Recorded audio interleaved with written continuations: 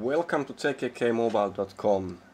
It's now time for hacking a bit with S5 and uh, of course like always we start by removing the battery.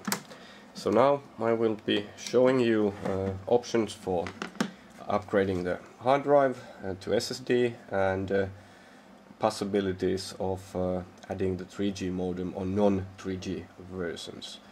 So first up of course opening the device. So when you remove the battery you can see that there is some screw holes over there and they are actually covered with this tiny little little uh, uh, soft thing. So you have to first take those out with a small screwdriver or similar and then just open all the screws. There are one two three four five six seven screws. That's easy. Then you have to start opening the device and you should start it from the corner. And you should bend it with a nail or something plastic this way. So you bend the screen part away from the main part like this. Then you go through the device click by click.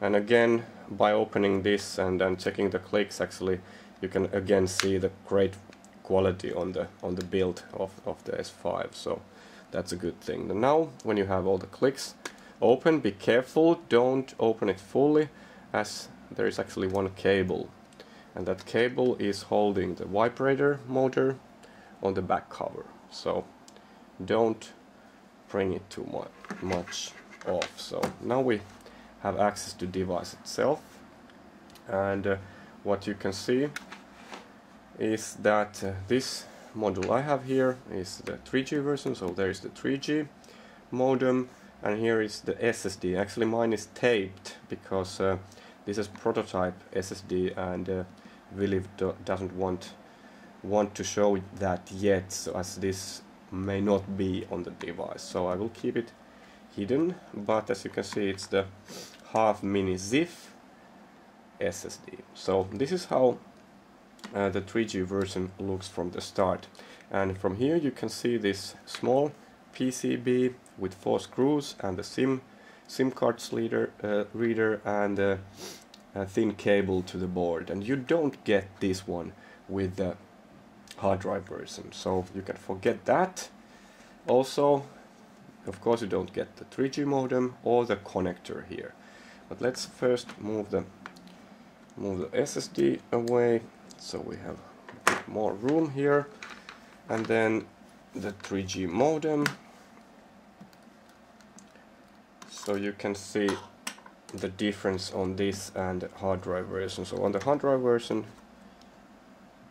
it's empty like this and the hard drive is here like this. So now my version already has the mini PCI Ex Express connector which you can see over there. That's it. So if you want to add 3G on your device you have to actually solder that that uh, connector there. And that's not the easiest job but it's possible. And uh, the the stupidest part is that actually there's this metal frame on the back so you can't access the the uh, the pins on the back if you don't remove it but you don't need to actually solder those. You just need to check that they are on online and solder the sides and and the front pins because those are the ones that uh, that we we need to have in. And uh, now as you don't get the get the SIM card reader you could of course make make this by yourself but again that's not the easy job if someone wants to have more pictures of it I can send it but totally different than just soldering the 3G modem. So let's forget it. So you solder this connector. It is 5.6 millimeters high.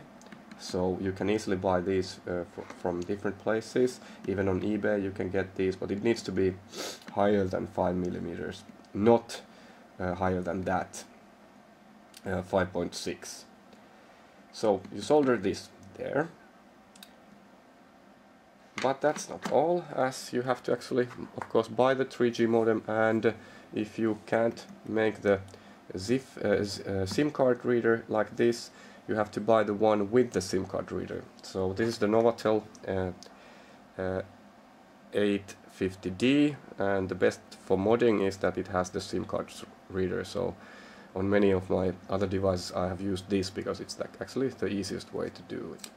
So after you have soldered the PCI Express connector you will have to mount this of course here like this and uh, you imme immediately see that the reader will actually extend from there so you have to also cut a hole to this metal plate and to this metal plate all remove them but I wouldn't suggest removing because they are also acting like a heat shield for the battery so quite a, a, a big job but possible fully possible so then you have access to SIM card by removing the battery.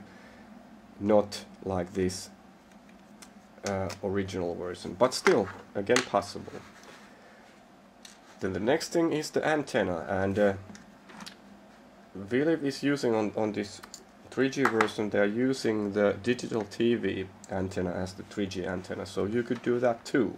So you ne would need to solder a small wire and solder that to the connector connectors for the antenna. Or straight to the antenna if you will. So again possible but not the easiest thing.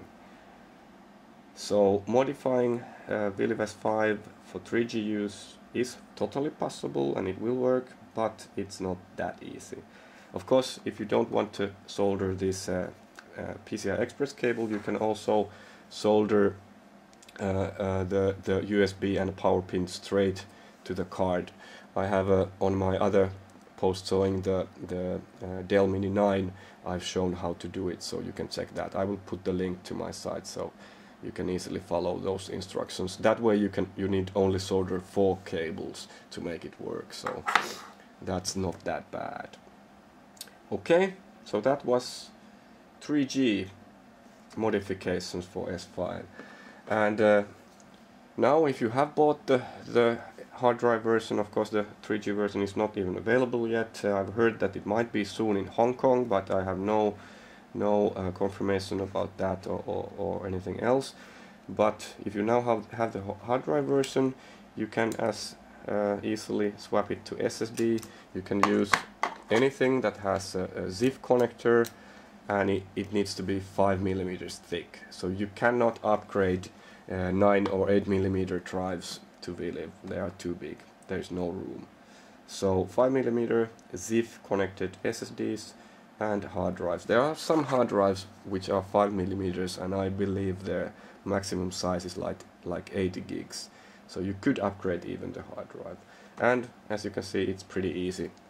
But adding the 3G is not that easy. So of course then when you have antenna cable, the modem there, hole in the in the in the metal plates then it's just a, a matter of, of installing the dri drivers and so on shouldn't be that hard but uh, of course there are always always uh, uh, things to consider because you will lose your warranty if you if you start soldering there but again I was asked asked to show this so here you go 3G possible swapping to bigger hard drive uh, or, or, uh, or faster SSD and totally possible and actually quite easy. So opening Viliv S5 is, is quite easy.